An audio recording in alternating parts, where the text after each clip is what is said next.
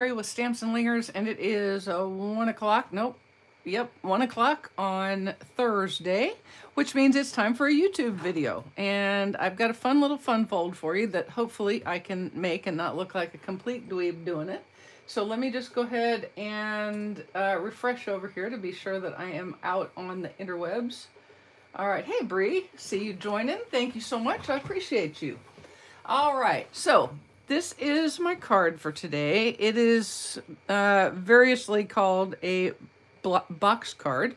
And I actually watched the video that Dawn Griffith did to get kind of the basic idea for the base itself. And then I went from there and decorated it on my own. So I have used the Seascape stamp set and the bundled Sea Life and highly gorgeous uh, die set. You can see it has four dies in it, two very large ones, a uh, sea horse and a fish that to me looks like a bed of fish, which I wouldn't put in the ocean. But you know what? I saw a lot of things when we were in Maui, and so you just never know what might be there. Hey, Rosie, appreciate you joining.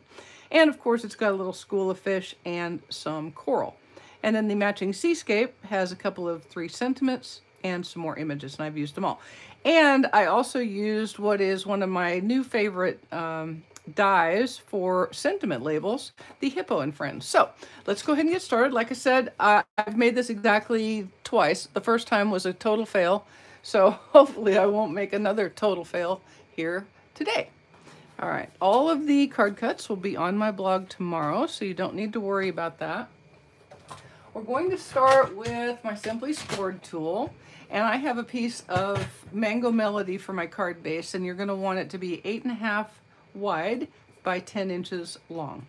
and then you're going to do a little bit of scoring with your score tool that comes with the Simply Scored. And you're going to want to score first at 2 inches, then at three and a half inches,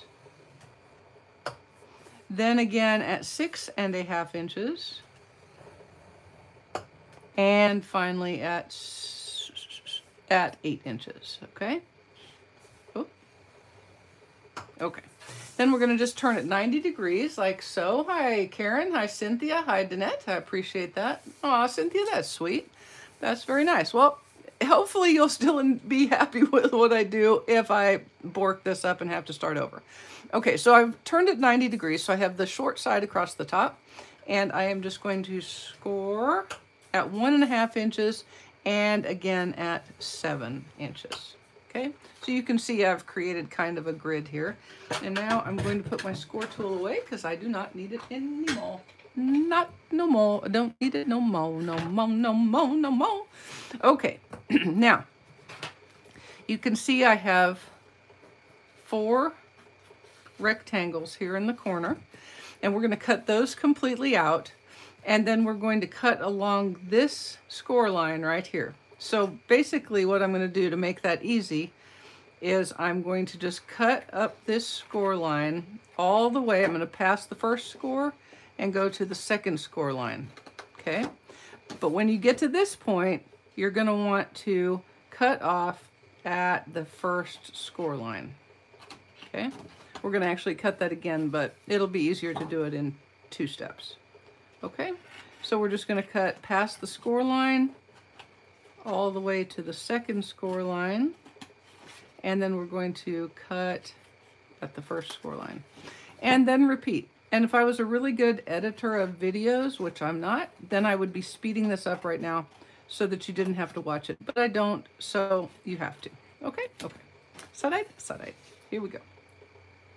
Well, if you've been following the matted fin saga, we were less than successful yesterday.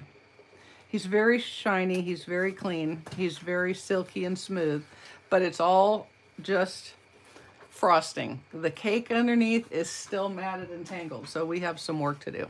Hey, Amy. Hi, Kim. Appreciate you joining. Okay, now we have reached the point where we are going to start taking a look at, now, depending on whose video you watch, every people do different things. Um, some folks want to do all the scoring and or all the folding and burnishing now, but I am not going to. I'm just going to go this part first off. So the first thing I want to do here is, let me show you why this is fun. You know, it occurred to me, I just showed you this. Let me show you what this is actually doing, because duh. This is a belly band, looks a lot like a gate card, but when you open it, it is actually a box fold, okay? So what we're doing now is we're creating this fold piece right here, okay? So what you're gonna wanna do is use your ruler or whatever and just go from this score line to this score line should be three inches. And it is. Then you just want to make a mark at one and a half inches. Then turn it around, get rid of your belly band, and do the same on the other side. Okay? So is this the easiest fun fold on the planet? No. Is it the hardest? Way no. So here comes the hardest part of this whole thing, and that is making sure that you use the light blade and not the dark blade because the light blade scores and the dark blade cuts and you don't want to cut right now. Just saying. Okay, in order to do this, I find it helpful to lay this panel over just so that it's out of the way and you can see that corner very easily. What you're going to do is you're going to put that little pencil mark that you made right in the little trough here, this little trough.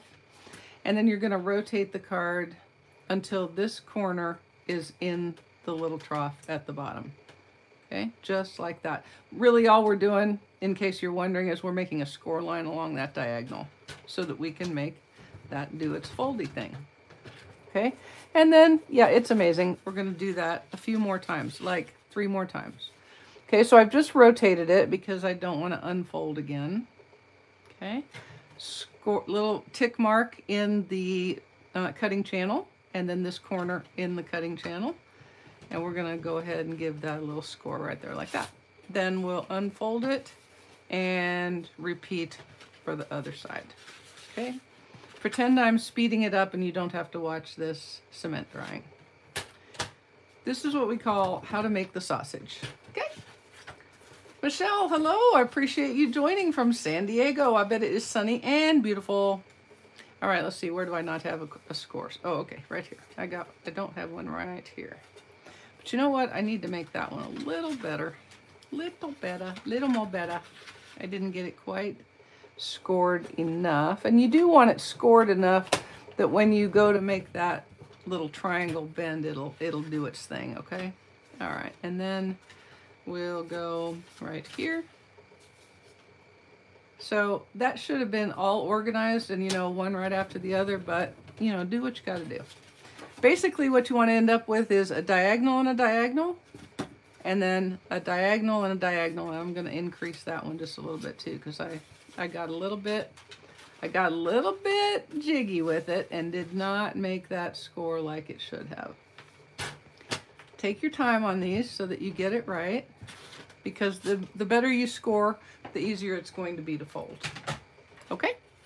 So now we're ready to start kind of putting it together. And so what I did next is I started making these folds so that I could see how things were going to go. Okay? And you're kind of making your adjustments here. Remember, it's paper, guys. It doesn't always do exactly what you tell it to do, so try to make it do your thing. Hey, Debbie, appreciate you joining. I bet you you do have nice weather. All right. And then we're going to just fold like so. Okay. So when you get done, this is kind of how it looks. But we have more yet to do, so I'm making this do what I want it to do up here a little bit, okay? And you can give that a little burnish like so. Now, to put this together, we're going to use a little bit of tear and tape. So what I want to do first is I'm going to flip it. So this is now the inside. I'm going to flip it so that the outside is up and I'm going to put tear and tape on these flaps right here. Can you use liquid glue? Sure. But do you have to wait a little longer? Yes. So I like to use the tear and tape and I put it on before I cut, okay? Because that way when you get ready to cut, it's a whole lot easier. You can cut it easy and then your tape is on all the way to the ends of where you're cutting. It's a little harder to organize it when you are trying to put it on little in little angles and stuff. Okay, so in case you're wondering if you've ever used tear and tape, it's a whole lot. This is hard. Okay, I'm just going to tell you that is a hard way to hold tear and tape and work. Stick your hand through the tape and rotate it so that you can hold between your thumb and forefinger and then you can guide it and it rolls right off your hand. Okay? Uh, so we're going to do repeat that again. And repeat that again. And look I said it was easier. I didn't say it was always easy because sometimes the tear and tape is really sticking to your fingers. But I promise you it's easier than the other way. Okay so that's that. Now what I'm going to do and I'm really doing it just to reduce bulk okay so I'm where I've done my tear and tape, I'm going to cut that flap in about half, and then I'm going to make a diagonal across like that to make it into a tab.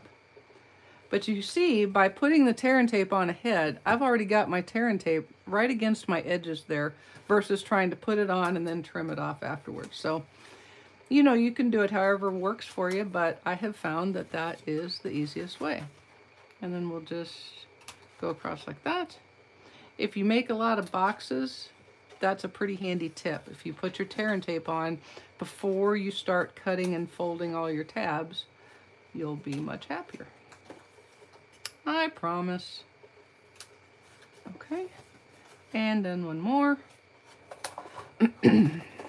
and make your diagonal cuts. You can see, it really doesn't matter how big or deep the diagonal cut is, you're just taking off some bulk, okay? That's really all you're doing there. Taking off some bulk. Thanks, Deborah.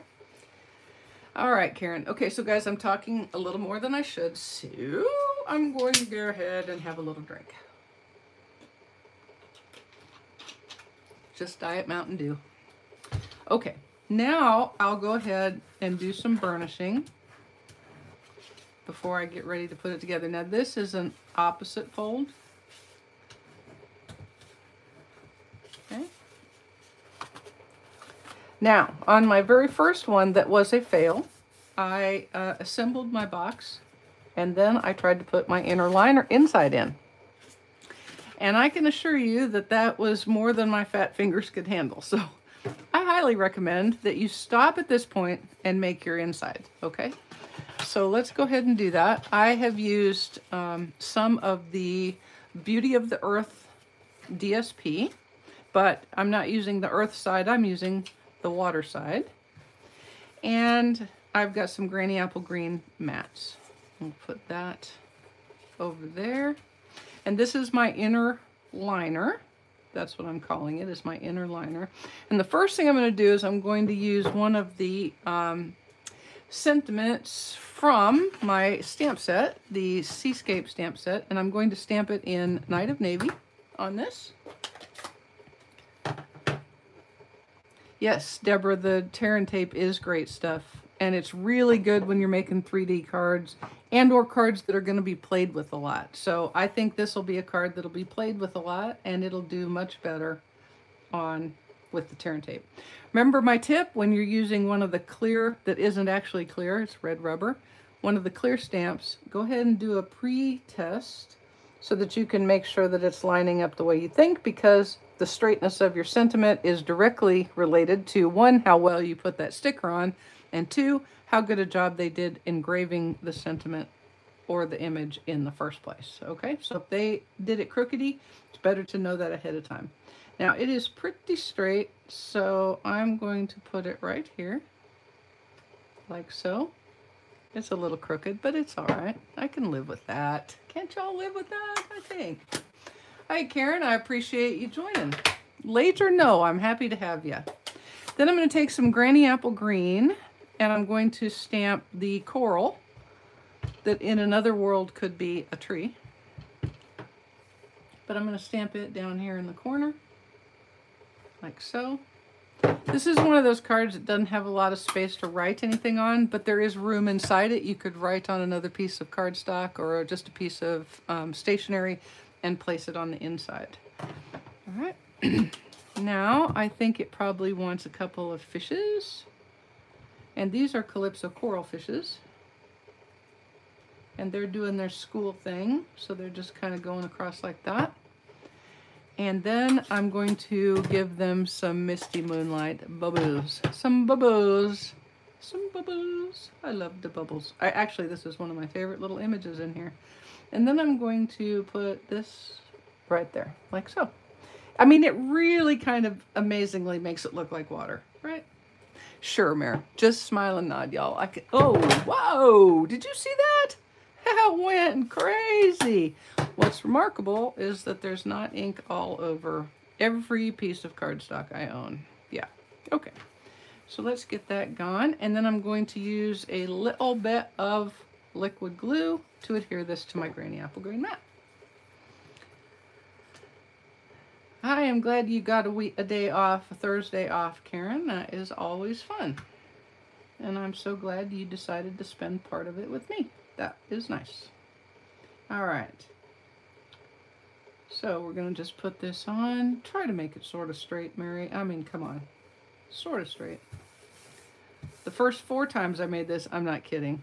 I, I messed it up so many times. Okay. Now we're just going to put it in here, making sure we're putting it on the, you know, inside. And then we can assemble our box. Then we'll make the front and be done. Oops. Now there is no right side up or wrong side down, but I decided I wanted to make it look right to me. So we're just putting that in the center. And it's so much easier to get everything lined up if you do it before you assemble the card. Okay. All right. Now what we're going to do is we're going to just lay this down like so. And this is going to fold in to adhere there.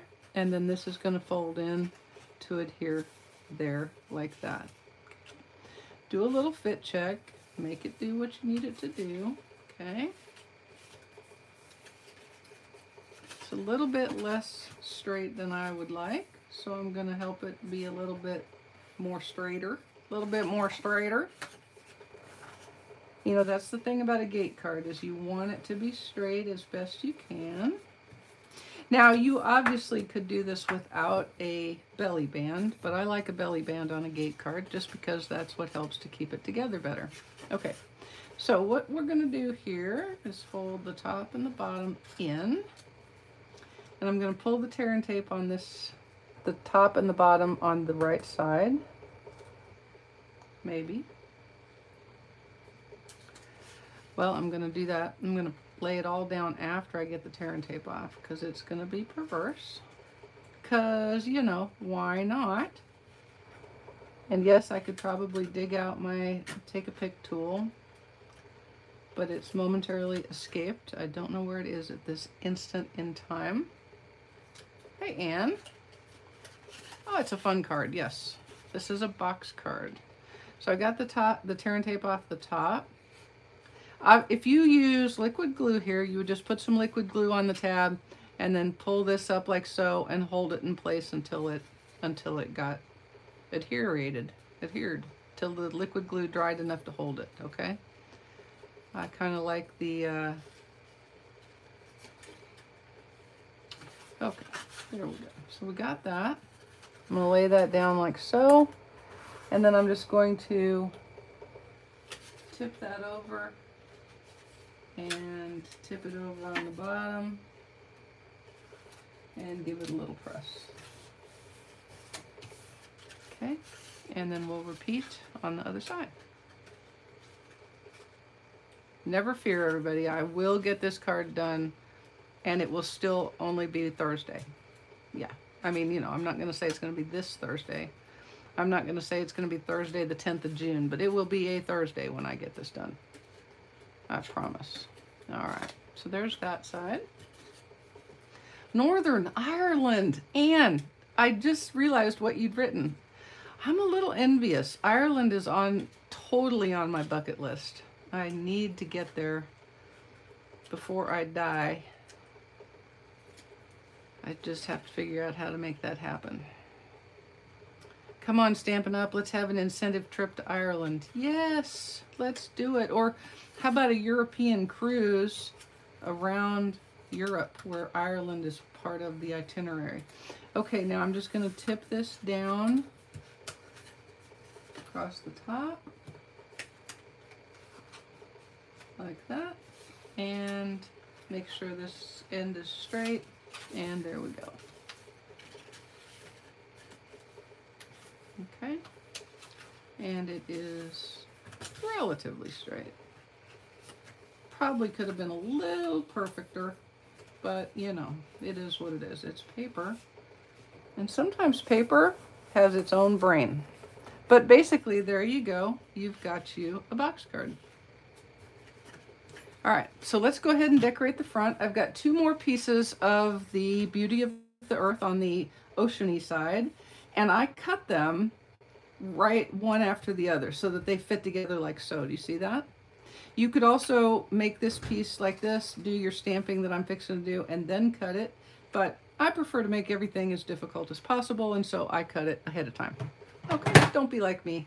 Just, yes, Amy, let's go. Let's go. I've never been there, so it wouldn't even be back for me. I want to go at least one time before I die. Maybe I should live there. I don't know. Okay, so what I'm doing here is I am just going to make a little scene on this front that is going to sort of come together and it'll be separated, but everybody will be able to tell that it is of one, of one. It is of a whole, like that. Okay, so I've got my Granny Apple Green Coral, and then I'm going to stamp some more fishes. Some more fishes here and there. and I'm going to turn these over. Now, if you think these look like weird fish, I can assure you, yes, they are kind of weird fish, but I saw as recently as a couple of weeks ago or last week, some really oddly shaped fish. I'm just saying. So I don't think you need to go, oh, those fish are upside down. Trust me, I saw some darn fish that looked upside down, swimming around in the ocean, right there in Molokini. They looked like they were upside down. We even have sunshine. The rain does keep it green. I'm certain it does. I am certain it does, and I'm betting it's beautiful. All right, I've got some more Misty Moonlight bubbles that I'm putting here and there. Is there any rhyme? Is there any reason? Of course not. Why would you have rhyme or reason? Like that. Okay. And I think that's pretty much all I did there.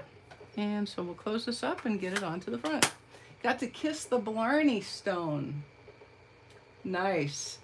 I'm pretty certain I would fall on my Blarney stone is what I would do if I tried that.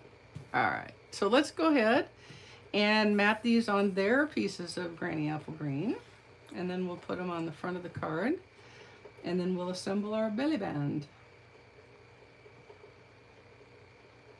Okay. Like so.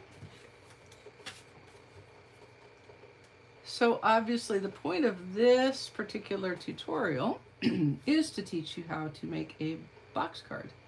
How you decorate it, then you can do as you like. I've seen many, many wonderful uh, um, cards made with it, with all sorts of different beautiful decorations. Your box card is your cake, and how you decorate it is your frosting. Chocolate cake is chocolate cake, but what goes on it is what matters. And then we'll put the other piece on.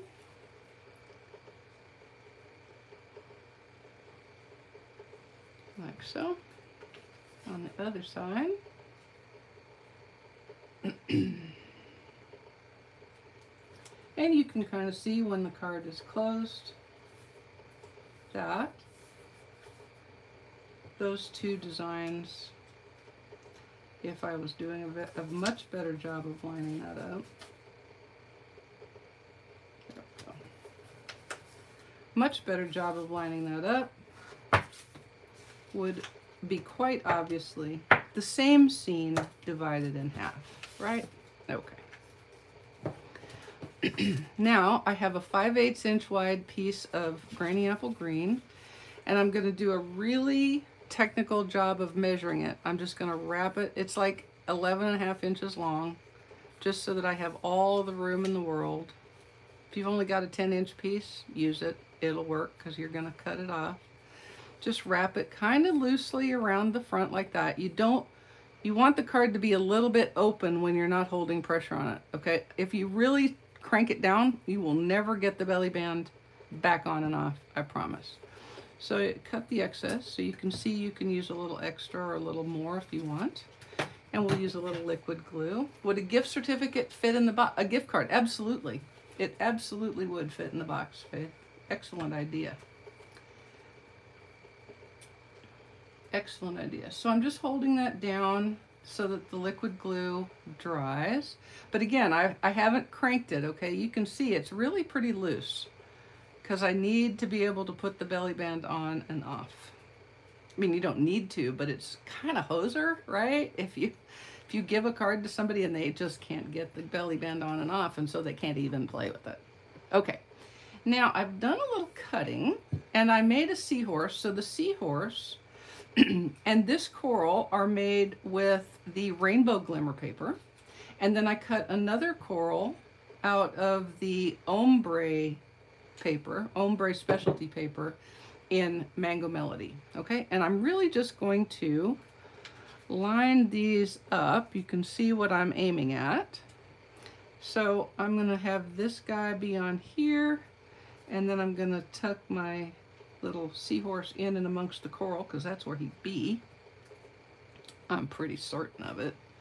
and then this guy is gonna go like that. So we're just gonna create a little montage, a little seaside montage. So I'll use a little liquid glue on the back of this die cut.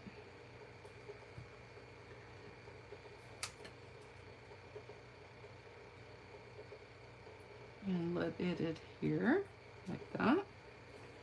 And then I'm gonna put, I'm just putting liquid glue right in the centers because I don't want it on the card front. I just want the liquid glue on my belly band, right? Because you know if you glue it to the card front it's kind of a defeats the purpose right?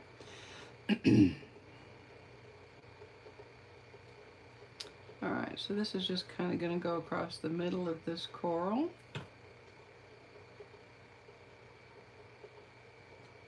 And then you can just kind of give it a little hold like that until it adheres. Now, if any of you are remembering our old glimmer paper, the glitter paper that you could not glue to to save your life, this is not that. The new glimmer paper um, formulation is much more glue friendly. Okay, now for a sentiment after a small drink.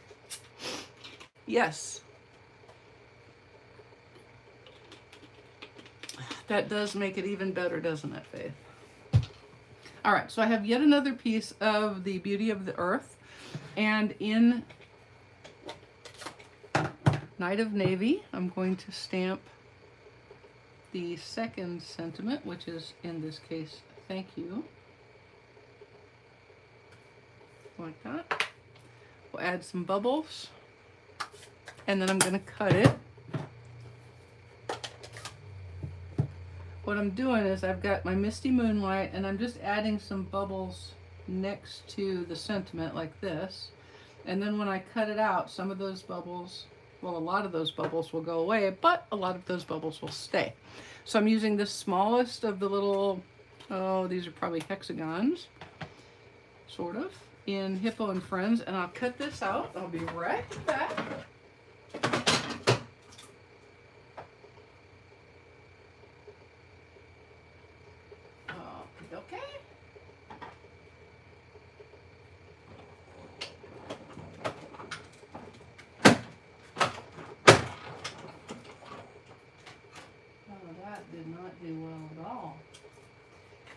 Totally moved. So I got to redo that. That did not come out at all like I planned. Not even sorta. So hang on just a minute. Hang on just a minute. This is why you keep scraps handy, right? This is why you keep scraps handy. No glitter shedding. Yes, exactly correct. Nothing is all over you. Unlike the old paper formulation, which put it everywhere. You could always tell when someone had been playing with their glitter paper. It was crazy. So in case you're not tracking along, I really borked up my cart, my sentiment cut. To be honest, this is why I usually do this before, so that when I make a mistake, you don't see it.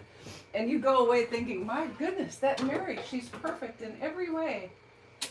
But now you know the ugly truth. I am not perfect in any way, let alone every way.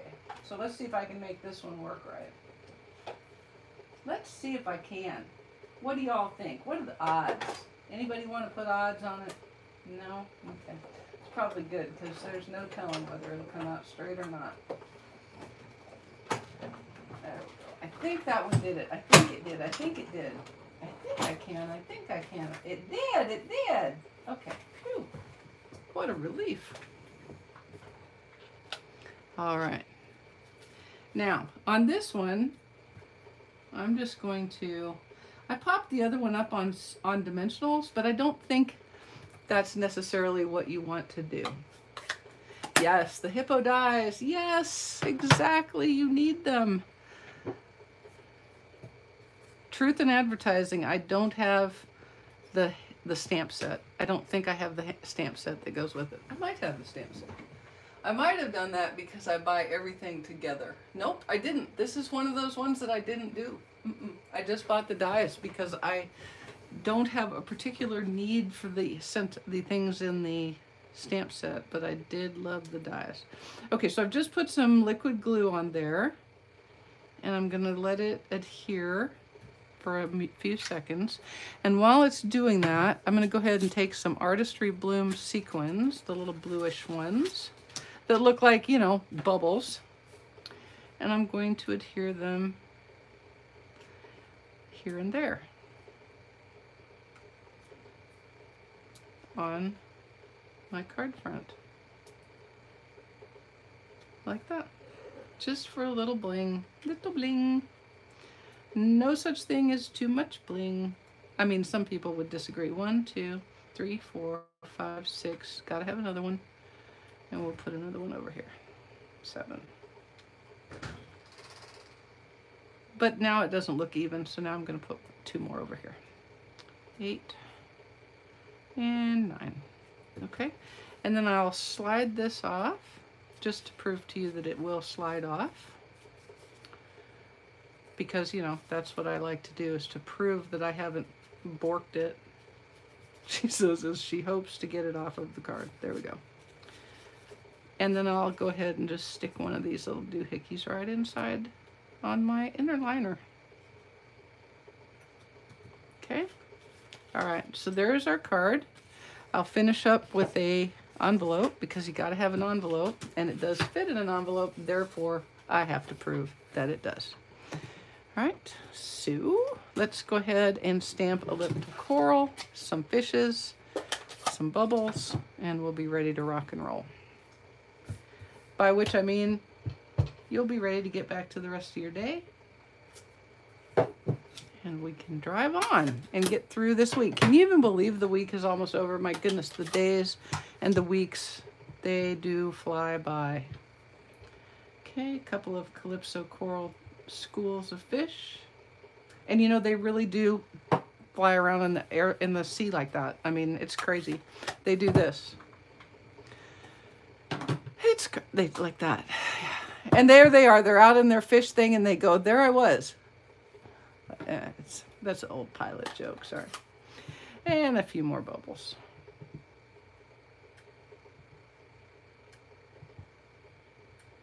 Like that. Now for my DSP that's going to go on the back on the envelope flap, what I did is I put some bubbles on it before I got it adhered because that way I'm not worrying about getting it on the envelope. Okay, like that. And here we go. And away we go. That was me channeling Jackie Gleason. How many of you are old enough to remember watching Jackie Gleason? My grandparents, we watched it all the time. If Jackie was on, we were watching. Also Lawrence Welk. A one and a two and a one, two, three. Do, do, do, do. Okay. And then we'll give that a quick trim. And be done, scare. We'll be done, scare.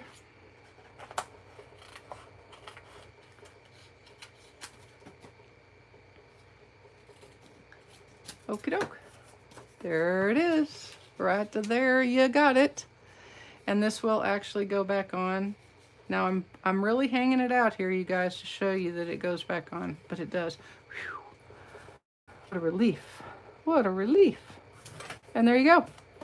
I hope you have enjoyed the box card and that you will try one because it's really pretty easy. So watch for the video replay tomorrow and all of the card cuts and information on what you need to make it. And I hope I will see you on Saturday for my Facebook Live at 7 p.m. Eastern. Y'all have a great rest of your week. Thanks so much. See ya.